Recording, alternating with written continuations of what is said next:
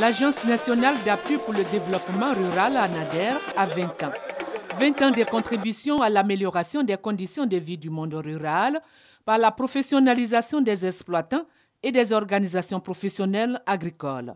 20 ans de conception et de mise en œuvre des outils et approches des programmes adaptés pour assurer un développement durable et maîtrisé.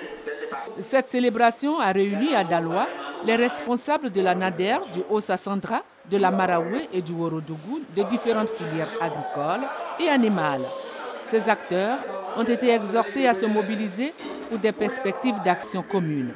Selon les intervenants, c'est avec l'implication de tous ces acteurs que vont se construire le développement local et l'agriculture du 21e siècle basée sur une bonne stratégie de planification.